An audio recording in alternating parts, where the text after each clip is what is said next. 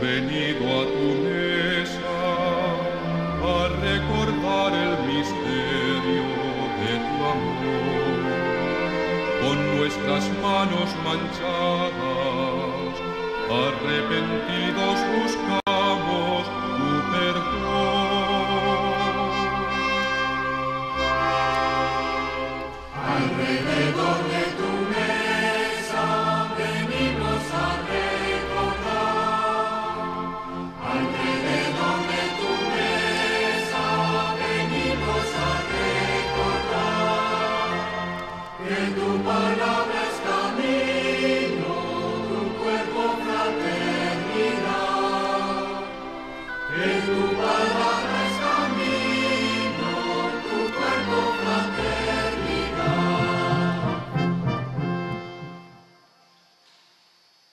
Buenos días, sed bienvenidos todos los presentes a esta Eucaristía que celebramos en un día de fiesta, una fiesta importante para Europa, es uno de nuestros patrones, tenemos muchos, San Benito Abad. Él nació en Nursia, en Italia, abrazó la vida eremítica en la región de Subiaco, eran como pequeños emigré- eremitas, donde pronto se vio rodeado de muchos discípulos. Pasado un tiempo se trasladó a Casino y allí fundó el célebre monasterio y escribió una regla, una regla que tiene como lema ora et labora, reza y trabaja, se propagó de tal modo por todas partes que por ella ha sido merecido, se le ha llamado, el patriarca de los monjes de Occidente. Muere, según la tradición, el 21 de marzo del año 547. El Papa Pablo VI lo proclamó patrono de Europa, teniendo en cuenta que los monjes benedictinos durante siglos, siglos, llevaron a cabo silenciosa y paciente tarea de evangelizar a los pueblos bárbaros que en su día se asentaron en la Europa occidental. En el Evangelio supieron llevarles también la cultura en todas sus dimensiones, desde el cultivo del campo hasta las letras, la convivencia ciudadana. Verdaderamente un personaje muy importante. Felicitamos a la familia benedictina, a todos los que celebran también su onomástica, todos los benitos. Y le decimos al Señor que nos enseñe a llevar a cabo la evangelización de una manera mucho más profunda e incisiva. A los enfermeros, a los cuidadores, a los médicos, a la gente que está en los hospitales y que tendrá que quedarse en casita porque suben las temperaturas, un saludo muy particular. En el nombre del Padre, del Hijo y del Espíritu Santo. El Señor esté con vosotros. Hermanos, para participar con fruto en esta celebración, comencemos por reconocer nuestros pecados.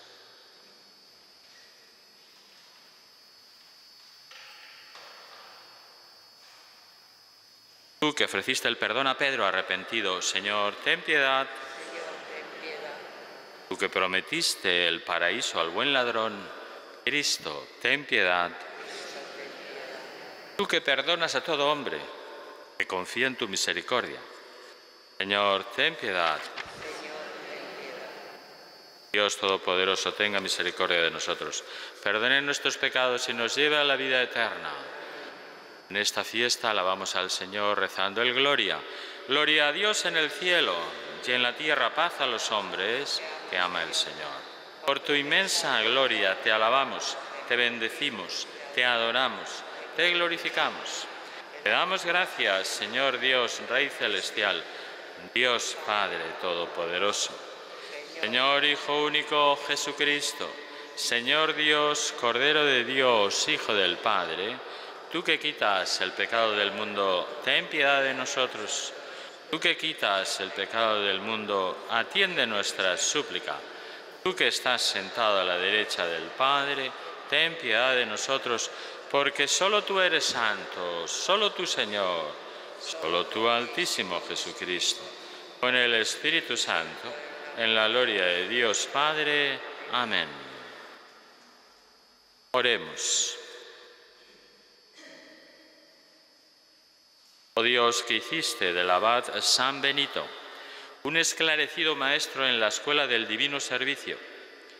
Concédenos que prefiriendo tu amor a todas las cosas, avancemos por la senda de tus mandamientos, con libertad de corazón. Por nuestro Señor Jesucristo, tu Hijo, que vive y reina contigo en la unidad del Espíritu Santo, y es Dios por los siglos de los siglos. Amén.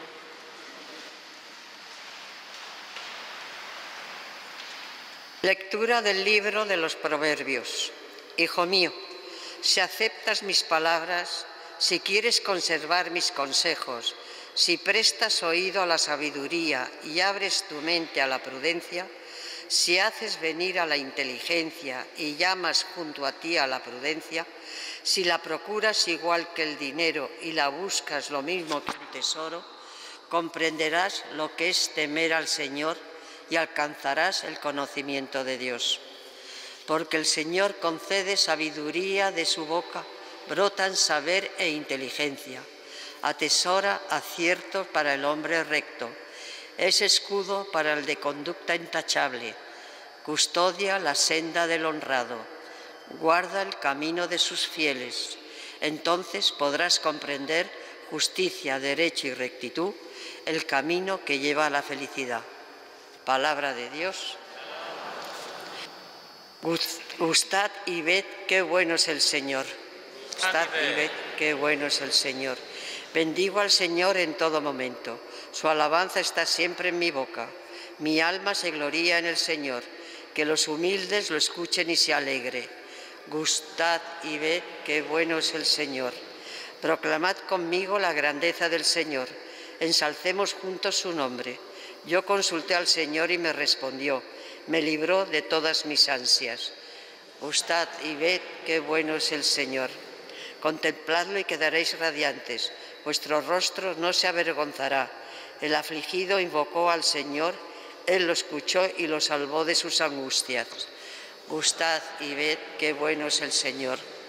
El ángel del Señor acampa, en torno a quienes lo temen y los protege. Gustad y ved qué bueno es el Señor, dichoso el que se acoge a Él. Gustad y ved qué bueno es el Señor. Todos sus santos temen al Señor, porque nada les falta a los que lo temen. Los ricos empobrecen y pasan hambre. Los que buscan al Señor no carecen de nada. Gustad y ved qué bueno es el Señor. Aleluya, aleluya, aleluya. Bienaventurados los pobres en el espíritu, porque de ellos es el reino de los cielos. Aleluya, aleluya,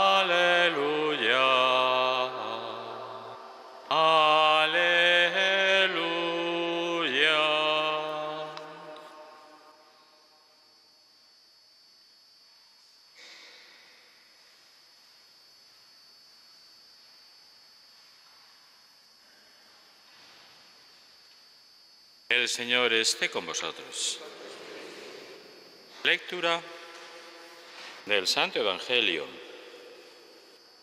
según San Mateo. En aquel tiempo dijo Pedro a Jesús, ya ves, nosotros lo hemos dejado todo y te hemos seguido. ¿Qué nos va a tocar? Y Jesús les dijo, en verdad os digo, cuando llegue la renovación y el Hijo del Hombre se siente en el trono de su gloria, también vosotros, los que me habéis seguido, os sentaréis en doce tronos para juzgar a las doce tribus de Israel. Todo el que por mí deja casa, hermanos o hermanas, padre o madre, hijos o tierras, recibirá cien veces más y heredará la vida eterna.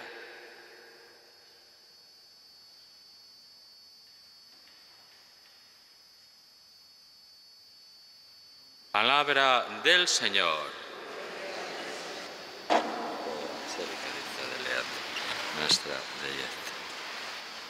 Verdaderamente las promesas del libro de los proverbios, que nos hablan de la prudencia, de que seamos prudentes, y los dones que el Señor promete en el Evangelio se cumplieron. San Benito vivió así. El eh, Santo Padre, bueno, San Juan Pablo II, al, conmemorar, pues la conmemoración era el 15 centenario del nacimiento de San Benito. Pues él recordaba, él así lo calificó, trabajo gigantesco. Eso no lo ha hecho el santo, lo ha hecho Dios a través de él. El trabajo gigantesco que contribuyó en gran manera a configurar lo que más tarde sería Europa. Nos interesa muchísimo.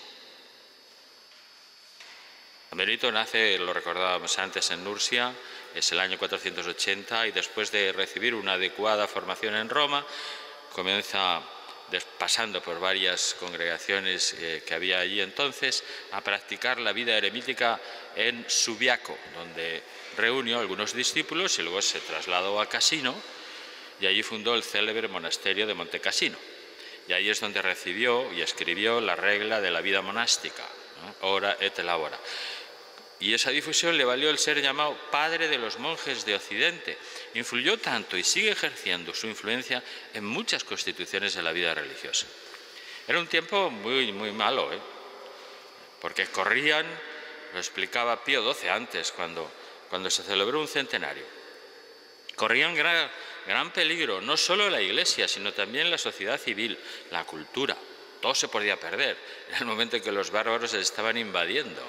Y San Benito atestiguó con insignes obras, decía el Papa, y con su santidad, la perenne juventud de la Iglesia.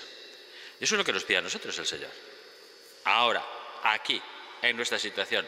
Ah, es que yo estoy en la camita, estoy ya hecho polvo, yo no tengo nada que hacer. Que no tienes nada que hacer, ponte a evangelizar desde que te levantas hasta que te, hasta que te duermes por la noche, que es la tarea que te toca. Además, decía el Papa Pío XII, San Benito y sus seguidores sacaron de la barbarie de la barbarie habrá que sacar también algunos. Y llevaron a la vida civilizada y cristiana a pueblos que estaban muy lejos, pueblos bárbaros, y conduciéndolos a la virtud, al trabajo y al pacífico ejercicio de las letras, dieron cultura. Los unió en caridad a manera de hermanos, casi nada. Pero eso lo hace Dios, porque nosotros no somos los artífices, nosotros no somos protagonistas nunca. Somos siempre cooperadores, instrumentos colaboradores. Y San Benito contribuyó en gran medida a forjar lo que es el alma y las raíces de Europa. Por eso tenemos que estar muy agradecidos, que son esencialmente cristianas, sin las cuales no se puede entender este continente. Ni se explican la cultura ni nuestro modo de ser. Esa identidad europea es incomprensible sin el cristianismo. Y precisamente en él es donde se hallan esas raíces comunes de San Juan Pablo II, cuando vino aquí a España, a, Santiago de Compostela, nos recordó esto, ¿eh? que tenéis esas raíces. Esas raíces de las que ha madurado la civilización del continente, su cultura, su dinamismo, su actividad, su capacidad de, de, expansión constructiva a los demás continentes. En una palabra, o sea, todo lo que constituye su gloria, decía él. Y es cierto. Bueno, pues hoy estamos asistiendo, por desgracia, a un empeño decidido y sistemático que trata de eliminar lo más esencial de nuestras costumbres, que es su hondo sentido cristiano. Y ante esta situación, el Papa San Juan Pablo II hizo múltiples llamadas, ¿os acordáis?, a la nueva evangelización de Europa y del mundo. Y siguen, porque el Papa actual sigue en lo mismo en la que estamos todos comprometidos. Por eso yo creo que es un día muy bonito para que, muy lindo, para que examinemos nuestro sentido cristiano de la vida, a ver cómo está.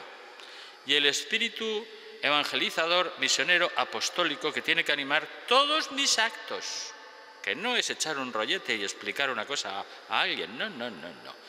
Como vivieron aquellos primeros con los bárbaros, esto el santo día pidiendo al Señor que a través de mí se transparente la verdad y se transmita ¿Cómo?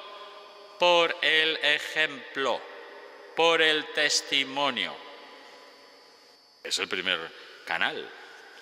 Muchos cristianos ante este panorama que parece adverso Lo que ocurre, he visto yo, por lo menos lo que yo constato, es que han preferido poner entre paréntesis, dejar a un lado lo que podía chocar con la opinión más generalizada, esto no es políticamente correcto, pues yo ya no me comporto así. ¿Pero de qué vas? Si te está pidiendo el Señor que seas luz, como eso eh, muchas veces se ha opuesto, claro, a, a nuestra manera de ser. ¿Mm? Entonces hay que ponerse la etiqueta de moderno y de progreso y a fuerza de poner entre paréntesis lo que nos molesta en un problema, para no separarnos de los, demás, corremos el riesgo de enterrar en nosotros lo que es esencial. Ante esa situación, cuyas consecuencias las vemos todos los días, ¿eh? Hemos de sentir la urgencia de evangelizar el mundo. Ese mundo quizá pequeño en el que se desarrolla nuestra vida, sí, lo de la mañana, la compra, los, trabajos de la casa, atender al marido, atender a los hijos, atender a la esposa, estar con los demás, eso, eso, eso, eso, la vida. Cada uno de nosotros ha de plantearse esta pregunta, ¿qué puedo hacer yo en mi ciudad, en mi hospital, en mi familia, sí, o en mi universidad, o en esa agrupación social o deportiva de la que formo parte, etcétera, en el lugar donde esté? para colaborar que Jesucristo reine efectivamente en las almas y en las actividades. Me lo tengo que plantear. La tarea ¿eh? de recristianización de Europa y del mundo no se puede plantear como si eso solamente lo puede abordar aquellos que tienen una influencia política o pública considerable, que me lo arreglen los políticos, agárrate que viene curva. O porque es una persona muy importante, que no, que tú eres cristiano. No es así, es tarea de todos. Hay un antiguo proverbio que dice, más vale encender una cerilla que maldecir la oscuridad. Para quejarnos tenemos todos los días, pero para lo que el Señor nos pide, que es dejarnos de lamentaciones y dar testimonio y dar ejemplo, tenemos muchas horas más. Bueno, aparte de que no es propio de los hijos de Dios la queja sistemática sobre el mal, eh, el clima pesimista y negativo, el derrotismo, si los cristianos nos decidiéramos a llevar a cabo lo que está en nuestras manos, poquito, pero eso sí, todos los días. ¿Cambiaríamos el mundo? De nuevo, otra vez, sí, como hicieron los primeros cristianos. Eran pocos en número, pero con una fe que era viva y operativa. Y eso se lo vamos a pedir hoy a San Berito. Que ese espíritu misionero lo meta en nuestras almas. Interceda delante de Dios. Lo encienda, porque está dentro desde que nos bautizaron. Y es un grave error no hacer nada por pensar que quizá que se puede hacer poco y como yo no puedo hacer nada, yo nada, yo estoy aquí, estoy postrada, estoy eh, en el hospital, estoy en casa, yo ya, con la edad que tengo, ya no, se me va la pinza, se me va la cabeza y ya no puedo ni pensar ni dormir, me duele todo, el pelo, las orejas, todo, y ya estoy hecha polvo. Pues no, no, no, no, no. Vamos a volver de nuevo a evangelizar nuestro mundo, ¿eh? cuando vivimos como Dios quiere, así es como se hace. Cuando los padres y las madres de familia, comenzando por su conducta, educan a sus hijos toda la vida, que ya son mayores están colocados, que no, toda la vida. Y cuando te vayas al cielo, que el Señor te, recogerá en el cielo, pues si Dios quiere y la misericordia suya nos, nos acoge, desde allí hay que seguir, ¿eh? hasta que estén todos contigo en el cielo. Educan a sus hijos pues en el desprendimiento de las cosas personales, en el sentido del deber, en la austeridad de vida, y se lo van diciendo, y como son adultos se les dice, lo harán o no lo harán, pero yo tengo que sembrar. Y se lo recordaré. En el espíritu de sacrificio, en el cuidado de los mayores y de los más necesitados, y cooperan con una gran evangelización en la sociedad, los predicadores, los catequistas que recuerdan sin cansancios, sin reduccionismos oportunistas, todo el mensaje de Cristo. Los enfermos, los ancianos que llevan con garbo sus dolencias y que ofrecen con gusto todo eso por sus vacaciones, que es un tesoro. Y así todo cristiano que dé testimonio y buen ejemplo con su comportamiento y sus palabras en la vida ordinaria. Yo tengo que hacer cosas extraordinarias, lo que me pide es que todos los días esté transmitiendo, ¿eh? Transmitiendo online, enviando a los demás luz, fuerza, energía. Vamos a pedir eso a la Virgen, a Santa María, Reina de Europa, y a San Benito. Le encomendamos hoy esta tarea que es de todos, de volver a evangelizar. Cada generación le toca, pues a nosotros nos toca esta, a, evangelizar la sociedad. Y se lo pedimos que sepamos mostrar con nuestra vida y con nuestra palabra eso que decía el Papa, la perenne juventud de la Iglesia. Sobre todo le pedimos santidad personal que es lo que está en la base de todo apostolado.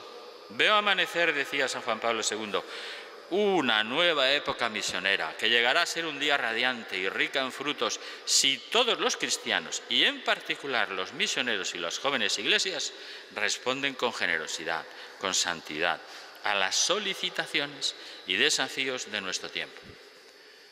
A la Virgen nos encomendamos y a San Benito.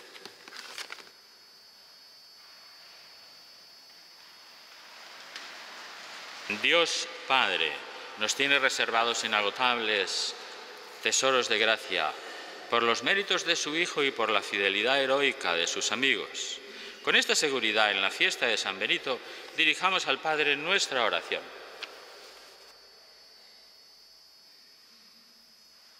Para que el Señor nos dé pastores según su corazón, que nos guíen con sabiduría y fortaleza en medio de las tempestades del mundo, roguemos al Señor para que el Señor, por la intercesión de San Benito Abad, faro de luz para los pueblos de Europa, ilumine a los legisladores y gobernantes para que promuevan la verdadera civilización, roguemos al Señor.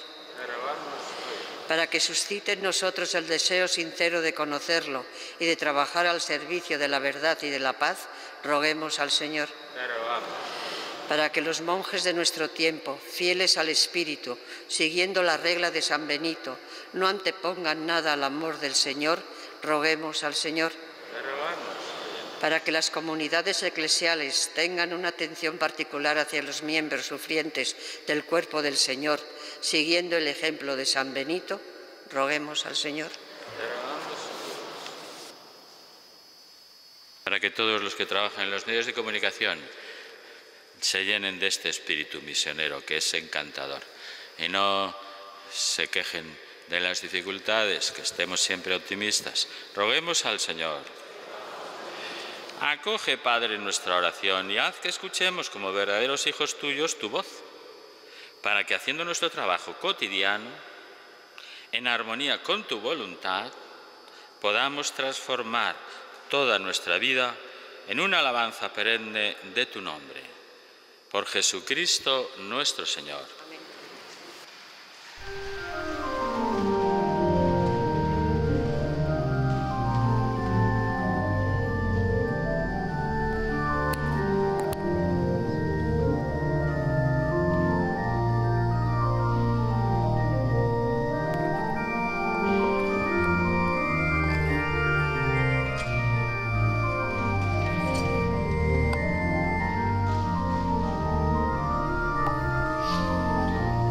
Señor Dios del universo, por este pan, fruto de la tierra y del trabajo del hombre, que recibimos de tu generosidad y ahora te presentamos.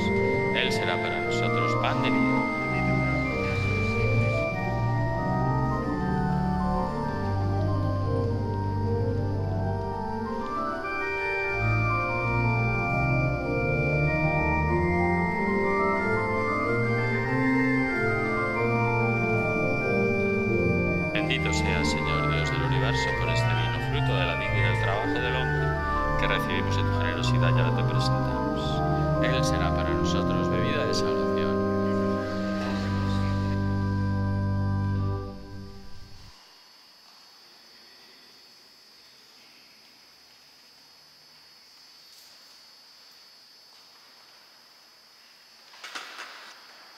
El momento de ofrecer el sacrificio de toda la iglesia, oremos a Dios Padre Todopoderoso. De tus manos este sacrificio para iglesia. Mira con bondad, Señor, estas ofrendas que te presentamos en la fiesta de San Benito y haz que nosotros, buscándote a ejemplo suyo, merezcamos conseguir en tu servicio los dones de la unidad y de la paz. Por Jesucristo nuestro Señor. El Señor esté con vosotros. Levantemos el corazón. Demos gracias al Señor nuestro Dios. En verdad es justo y necesario, es nuestro deber y salvación, darte gracias siempre y en todo lugar, Señor, Padre Santo, Dios Todopoderoso y Eterno, por Cristo, Señor nuestro, porque nos concedes la alegría de celebrar hoy la fiesta de San Benito, fortaleciendo a tu iglesia con el ejemplo de su vida santa, instruyéndola con su palabra y protegiéndola con su intercesión. Por eso, con los ángeles y con la multitud de los santos, te cantamos el himno de alabanza diciendo sin cesar, Santo, Santo, Santo es el Señor, Dios del universo. Llenos están el cielo y la tierra de tu gloria. Osana en el cielo, bendito el que viene en nombre del Señor. Osana en el cielo. Santo eres en verdad, Señor, fuente de toda santidad. Por eso te pedimos que santifiques estos dones con la efusión de tu Espíritu, de manera que se conviertan para nosotros en el cuerpo y la sangre de Jesucristo nuestro Señor el cual, cuando iba a ser entregado a su pasión voluntariamente aceptada, tomó pan y dándote gracias lo partió y lo dio a sus discípulos diciendo, tomad y comed todos de él, porque esto es mi cuerpo, que será entregado por vosotros.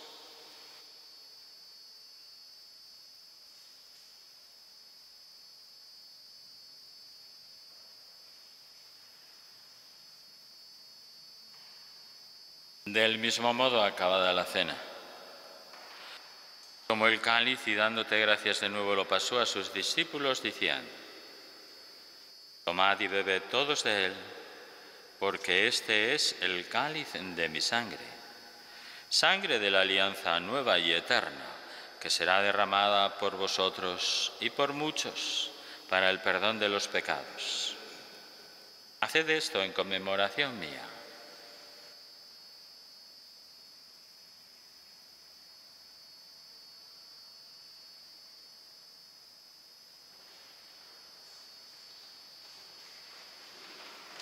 Este es el sacramento de nuestra fe.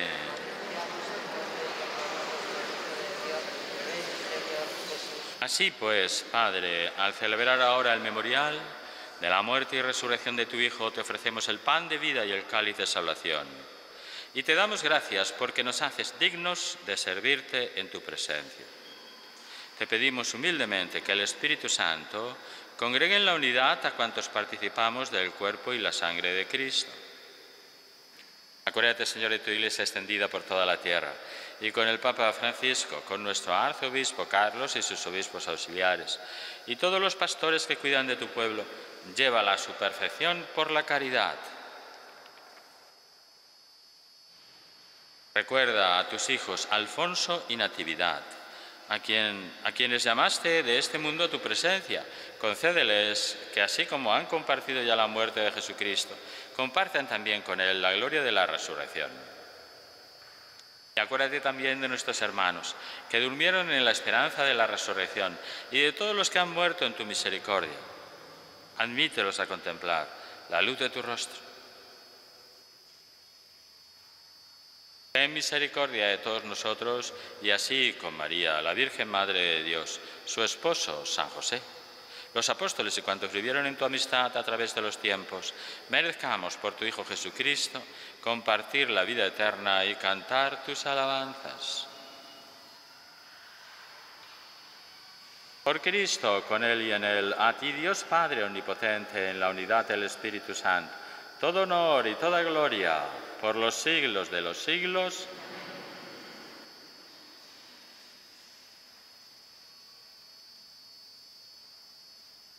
Antes de participar en el banquete de la Eucaristía, signo de reconciliación y vínculo de unión fraterna, oremos juntos como el Señor nos ha enseñado. Padre nuestro que estás en el cielo, santificado sea tu nombre, venga a nosotros tu reino, hágase tu voluntad en la tierra como en el cielo. Danos hoy nuestro pan de cada día. Perdona nuestras ofensas, como también nosotros perdonamos a los que nos ofenden. No nos dejes caer en la tentación y líbranos del mal. Líbranos, Señor, de todos los males y concédenos la paz en nuestros días, para que, ayudados por tu misericordia, vivamos siempre libres de pecado y protegidos de toda perturbación, mientras esperamos la gloriosa venida de nuestro Salvador Jesucristo. Señor Jesucristo, que dijiste a tus apóstoles, la paz os dejo, mi paz os doy. No tengas en cuenta nuestros pecados, sino la fe de tu iglesia. y conforme a tu palabra concédele la paz y la unidad. Tú que vives y reinas por los siglos de los siglos, la paz del Señor esté siempre con vosotros. Como hijos de Dios intercambiemos ahora un signo de comunión fraterna.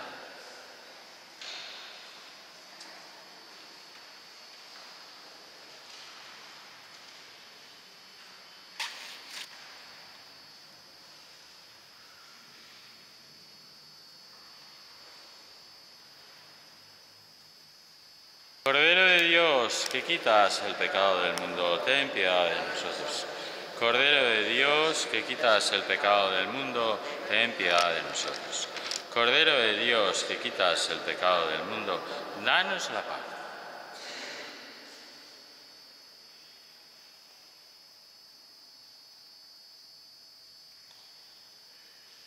Este es el Cordero de Dios que quita el pecado del mundo. Dichosos los invitados a la cena del Señor. Señor, no soy digno de que entres en casa, pero una palabra tuya bastará para sanar.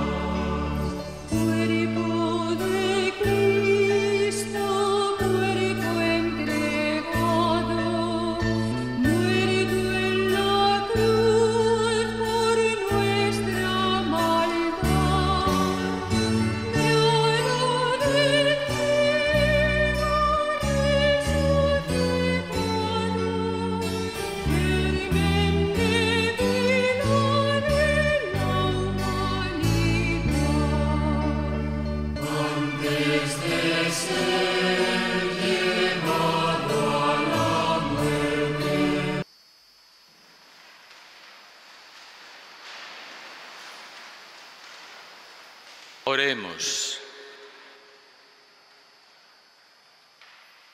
Después de recibir la prenda de la vida eterna, te pedimos humildemente, Señor, siguiendo las enseñanzas de San Benito, nos dediquemos fielmente a tu obra y amemos a los hermanos con caridad ardiente. Por Jesucristo nuestro Señor. El Señor esté con vosotros. Y la bendición de Dios Todopoderoso, Padre, Hijo y Espíritu Santo, descienda sobre vosotros. Reitero mi felicitación para toda la familia benedictina y para todas las residencias, fundaciones, hospitales y los que estáis en las casas atendiendo a vuestros mayores. Hoy es un día muy grande para dar gracias a Dios y poner el granito de siembra. Un acto para enseñar a los demás con mi testimonio. A la Fundación Nuestra Señora del Camino las encomiendo porque necesitan mucha luz y fuerzas. Vamos a pedir a San Benito vivir eso, la evangelización cada mañana, cada tarde. Ahora a las 12 empieza a entrar la ola, si no ha empezado ya, de calor. Así que desde las 12 hay que refugiarse hasta el domingo. Podéis ir en paz.